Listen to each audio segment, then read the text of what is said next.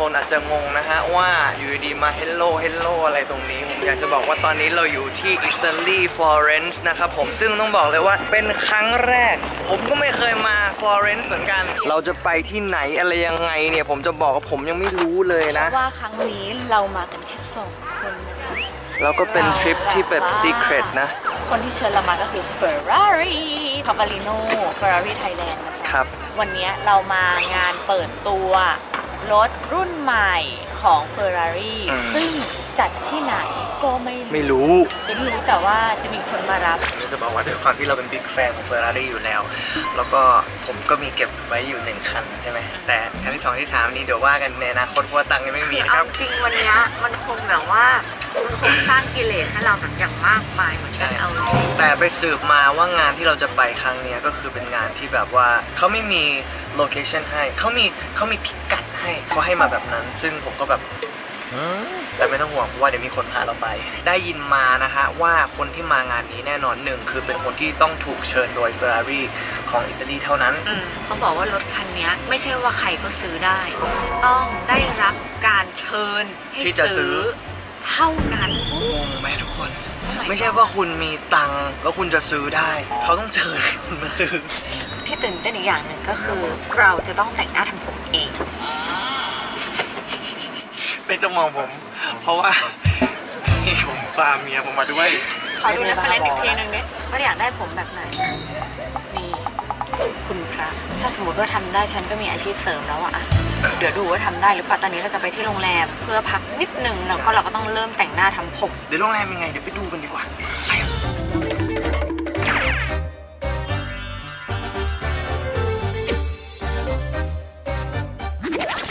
ว้าวเข้ามาแล้วครับ โอเค เข้ามาแล้วเป็นไง เป็นกระจกแล้วอันนี้คือทำอะไรเก็บเอ้าเฮ้ย ตอนแรกผมนึกว่าห้องเก็บของ อันนี้คือห้องส้วมนะฮะเตียงอยู่ตรงนี้ นี่นี่คือเตียงห้องเราอ๋อ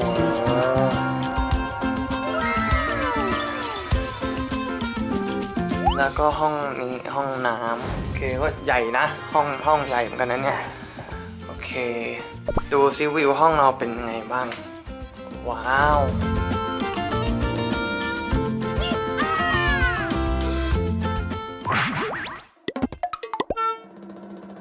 ติเป็นคนไม่ค่อยแบบแต่งหน้าเลย คือแต่งได้แต่ว่าแต่งแบบง่ายๆอะไม่ได้แบบว่าแต่งเอาโลกขนาดนั้นน่ะนึกออกไหมเราก็เลยไม่ค่อยมั่นใจในการแต่งหน้าของเรา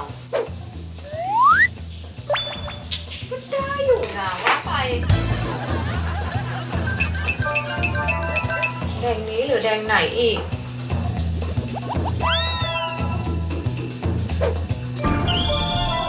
แดงเลยปะวะ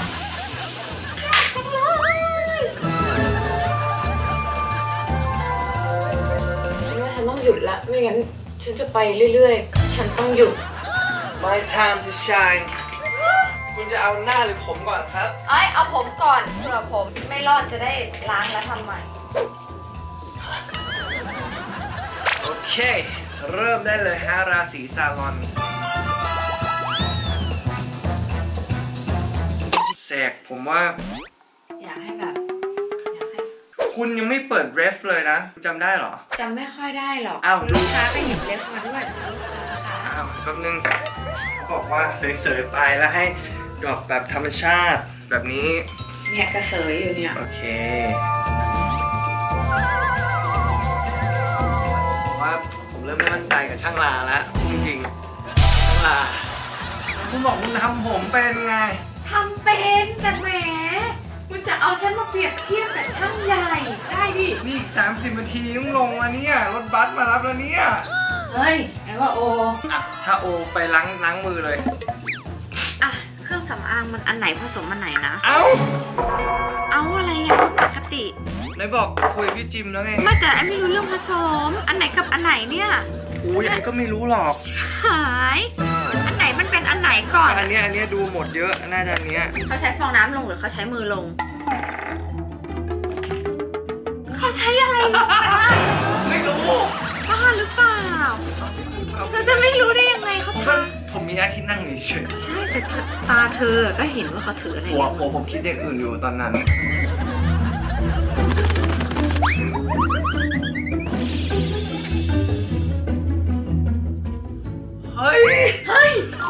เคไหมเนี่ย มันโอเค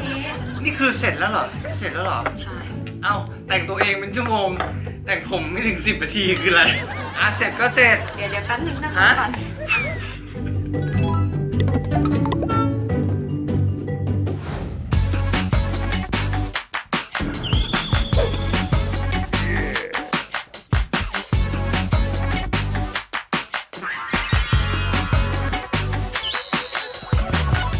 ปเปลี่ยนเลนส์แป๊บนึงนะครับเอิญเลนส์แตกเลย ถึงเวลาแล้ว let's go ไปครับตอนนี้เดี๋ยวรถบัสเขามารอแล้วนะ let's go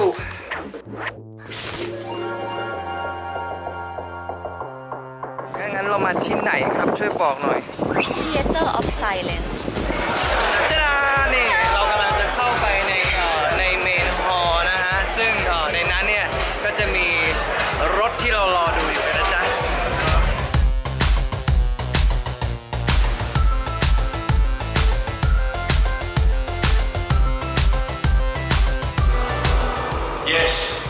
We have been discussing a lot, but we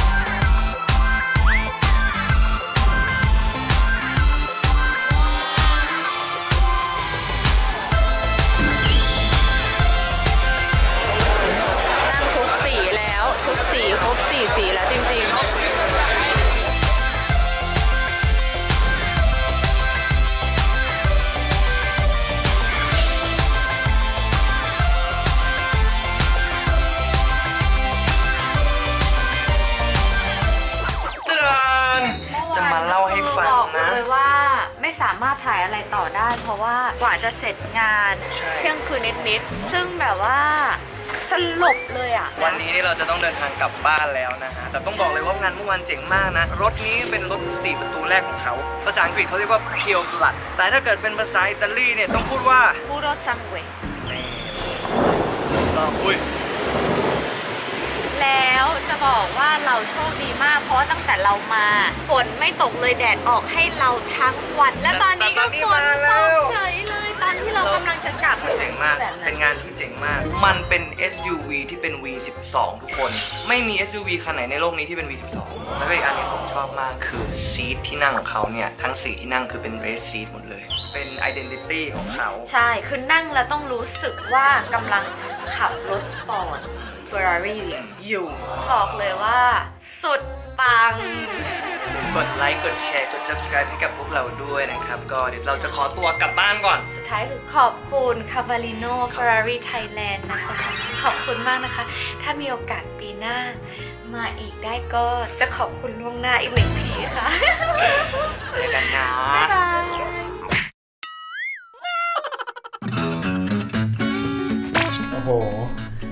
เออมีคนมุดแอบเหรอคะรู้เปล่าว่าเดี๋ยวนี้มามีอยู่ไหนคะอยู่อิตาลีอันนี้อาลี่เหรอ ใช่เขาทำอะไรที่อิตาลีเหรอแดดดี้น่าจะเสียตังค์มั้งคะเสียตังค์เหรอ ใช่ ถ้าแดดดี้จะซื้อรถอีกมีย่าให้ซื้อไหมไม่ให้ซื้อ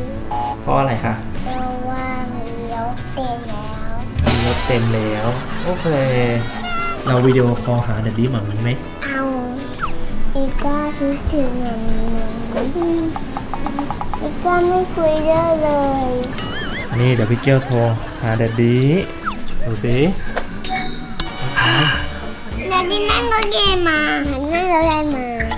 นั่งรถตู้ครับโลกกู้ของใครตู้ของคนที่เขาจัดงานที่นี่ค่ะ พรุ่งนี้เดี๋ยวที่กลับแล้วนะครับ กลับมาทำไม วันนี้เราดีกลับได้ไหมดีกลับไปหาพี่กามิยาไปโรงเรียนเป็นยังไงคะไหนเล่าให้ฟังหน่อยแจ็คเกิดลงแล้วนะอย่าเพิ่งวางคุณจะวางแล้วบายบายว่าแฮปปี้เราต้องบายบายก่อนสวัสดีก่อนเมื่อกี้ไม่มีใครบายบายเดี๋ยวดีเลยมีแกบายบาย ต้องโทรไปบายบายใหม่โทรใหม่บายบายเดี๋ยวดีก่อนบายบายดีๆก่อนบายบายมีอะไรกดบ้างไม่ต้องแย่งกันไม่ต้องแย่งกันบายมีอะไรกดบ้างไม่ไหวมีอันนี้ข้างหนึ่งมีก้าข้างหนึ่งครั้งที่สองมีก้า เราต้องแบ่งกัน เราต้องแบ่งกัน เราเราต้องแบ่งกันไม่ต้องร้องไห้มิยาคะ กดอันนี้เลยครับมีก้ากดกดเลยครับอันนี้เหรอ สีเขียวครับ สตาร์ทใช่ครับ เอาใหม่ คุยคุยกับ daddy ใจเย็นๆ อะคราวนี้ตามมีก้าคนกดวาง bye bye daddy ดี bye ๆอ้าว โทรไปแค่นี้พี่มียาบ้าง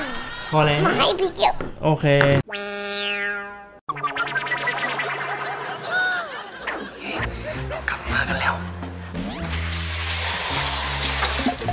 ฝันหูอยู่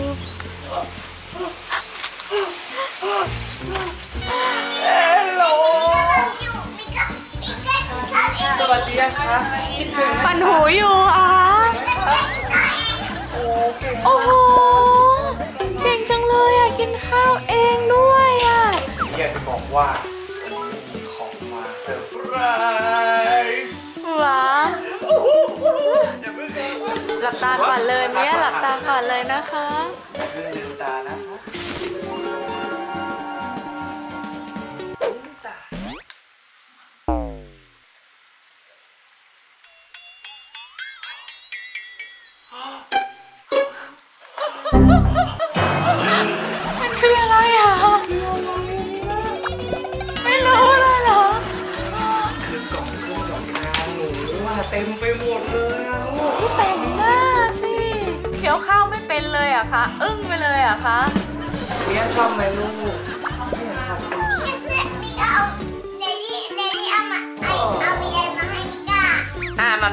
มีหยิบให้มามีเป็นคนหยิบให้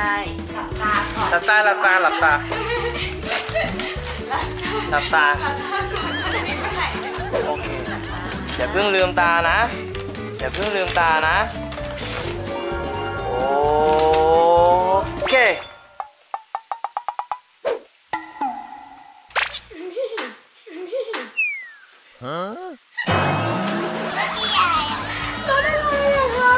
765 LT บังคับได้ด้วยนะครับผมกินข้าวให้หมดก่อนแล้วค่อยเล่นนะลูกนะ อะมันไม่ถือก่อนเดี๋ยวดิขอฟัดขอฟัดมิก้าบ้าง ยิ้มเลยนะขอฟันมีก้า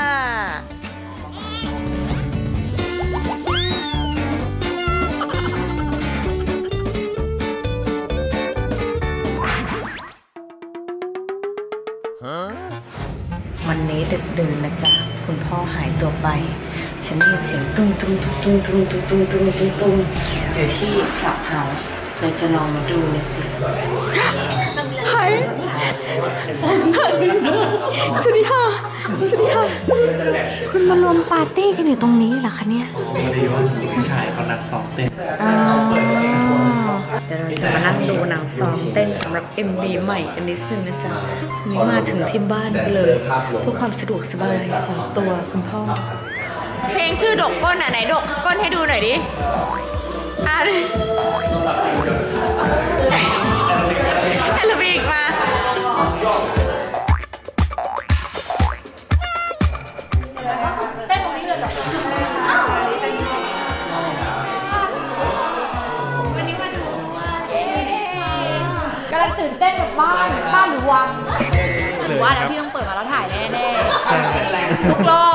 รอบ รู้ยี่เปิดมาแบบทำได้ใส่แต่ไม่ได้พอดีเป็นคนสวยเอ้ย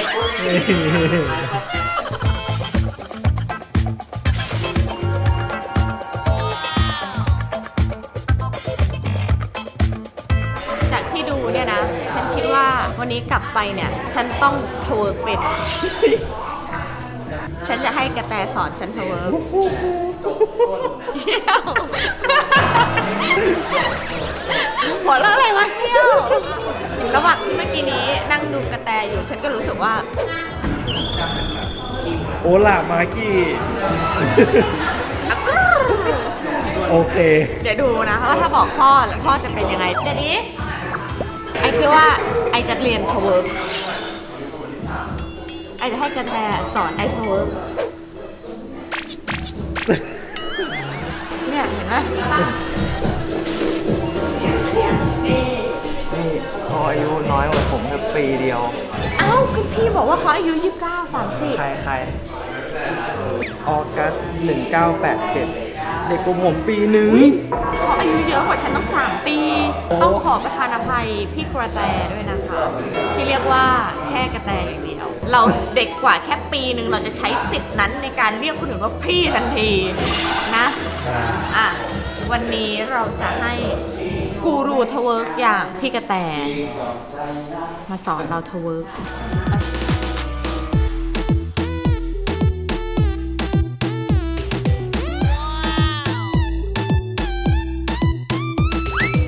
เห็นท่าที่ย่อลงไปนี่คือปวดเข่าแทนเลย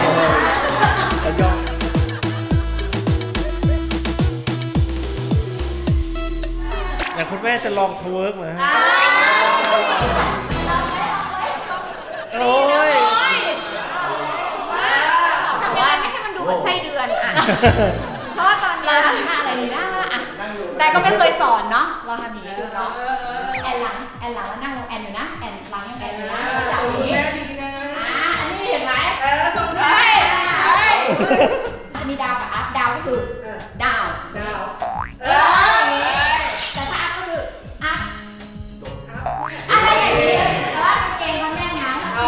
ถ้าจริงถ้าถ้าสมมติมันต้องใส่กางเกงเบาๆแล้วนื้อก้นใช่เนื้อก้นมันจะรู้ว่าเราขยับถึงไหมใช้แค่ใช้แค่ก้นก้นใช่หนึ่งสองตกลงปั๊บ Oh no. Oh no. ประมาณนี้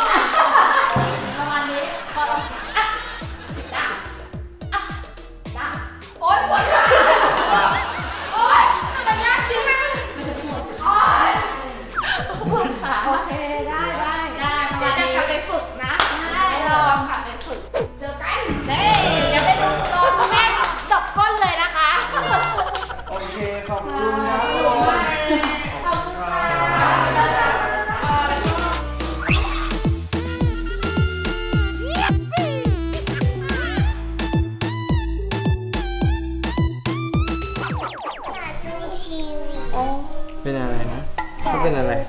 เขาเป็นเด็กอ่อนคิดถึงกันทำไมไหนแค่อยากขอให้อะไรดูอยากสิให้เปิดทีวีแค่เนี้ยเหรอใช่ลูกขอให้พี่เกี้ยวดูสิคะว่าหน้าเด็กร้องไห้มันหล่อไหมคะเราเราเสียงไม่ต้องเล็กได้ไหมเสียงไม่ต้องเล็กได้ไหมเสียงใหญ่เต็มเสียงเต็มมาก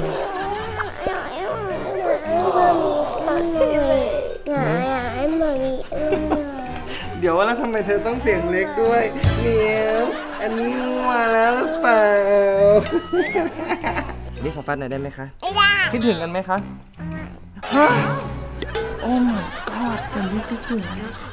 มากมากคิดถึงแบบมากมากมากมากเลยนะ แล้วก็คิดถึงอาหารไทยด้วยนะคะ วันนี้ผมต้องกินอาหารไทยนะครับคุณมัมมี่ครับไปอิตาลีมาบอกเลยว่า คุณพ่อโบนอยากกินอาหารไทย แต่ว่าด้วยความที่ว่าดิฉันกลับมาก็เหนื่อยเหมือนกันนะ เอาจริงๆ ขออะไรที่แบบว่าทำง่าย ๆ สะดวกสะดวก เพราะฉะนั้นวันนี้ขอใช้เป็นแบบว่าตัวช่วยอันส่งพลัง คือครัวเราอะ มันทำอีกแล้ว ฉันปวดหัวมาก เพราะฉะนั้นฉันก็เลยต้องมีตัวช่วย แต่ว่าวันนี้พิเศษจะออกไปนั่งทำตรงริมสระนิดนึงนะจ๊ะ เดี๋ยวตามมาดีกว่าจ้ะ อันนี้คือเตรียมของมาแบบง่ายๆทำไมคะมีคืออะมูคะดไหนครับเนี่ยมีอะคืออะไรอะคืออะไรคะคืออะไรไก่เป็นตัว คือน้องมีย่าเขายังไม่เคยเห็นไก่เป็นตัว อันนี้ก็คืออุปกรณ์อันทรงพลังที่ฉันพูดถึงก็คือหม้อทอดไร้น้ำมันกาบอนั่นเองนะจ๊ะโอ้โหแต่ให้บอกเลยเรื่องดีไซน์เนี่ย สวยเก๋มาก อย่างนี้นี่เอาจริงๆนี่สามารถเอาไปวางตกแต่งในบ้านได้เลยใช่เนี่ยเดี๋ยวเราก็ต้องเลือกอุปกรณ์ทำอาหารให้แบบว่ามันเหมาะกับเรา ตัวกาบอหม้อทอดไร้น้ำมันเนี่ยดีไซน์เขาอะสวย นี่คือซื้อมาเตรียมรับครัวอันสวยงามครัวของฉันใหม่เลย ของแม่อีกเตรียมรับแล้วครัจ้า วใหม่เพราะฉะนั้น ของที่ใช้ข้างในอะดีไซน์มันก็ต้องดูแบบดูดีมีสไตล์อันนี้เขาดีไซน์ถึงที่เยอรมันนะพ่อขอเริ่มเลยละกันนะ ไก่เนี่ยมันใส่ไปในนี้ได้เหรอ ใส่ได้จ้าทุกคนนี่คือตัวใหญ่นะไก่ไก่นี่เนี่ยคือมือกี้เทียบกับไก่ คือผมคิดว่าไก่เนี่ยเท่าเท่าเท่าตู้นี่แหละฮะมา แล้วมาแล้วมาแล้ว ไก่อันนี้เดี๋ยวเราจะบอกวิธีหมักนิดนึงนี่ไก่ทั้งตัวและตัวใหญ่ด้วยไก่แบบนี้นี่ทานได้หลายคนเลยจะบอกว่า วิธีทำอันนี้ก็คือง่ายมาก มีเป็นสมุนไพรพวกนี้นะ เราสับแล้วเรายัดเข้าไปในก้นเขามีหัวหอม มีแครอทด้วย แล้วก็ซับเข้าไปข้างในนี่พอดีเลยดูสิเธอโอ้ เขามีเหมือนเวลาให้เราเลือกเราก็เลือกไปเลย 30 นาที เพราะว่าเราอบไก่ทั้งตัว ของเขามีให้เราเลือกอุณหภูมิได้ตั้งแต่ 80 องศายาวจนไปถึง 200 องศา คือเลือกตรงที่ว่าเวลาเราดึงตัวหม้อออกมาเนี่ยเขาก็จะหยุดทำงานเองอัตโนมัติ โอ้โห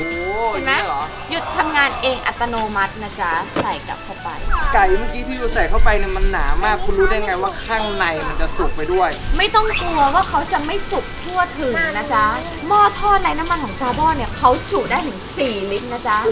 ที่สำคัญเขามีระบบลมร้อน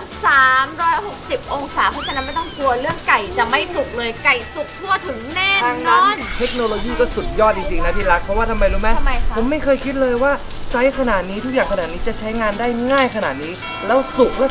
360 ความร้อนเลยของเขาเนี่ยเฮ้ยมันล้ำนะ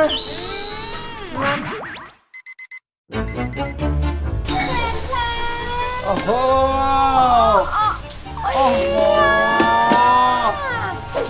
กรอบเลยพ่อเอ้ยมาให้ผมถือให้ดีกว่าครับเดี๋ยวมันร้อนนะที่รักเอ้ยไม่ต้องเป็นห่วงนี่ตัวด้ามจับของเขานี่คือกันความร้อนแล้วกันลื่นด้วยนะคุณพ่อ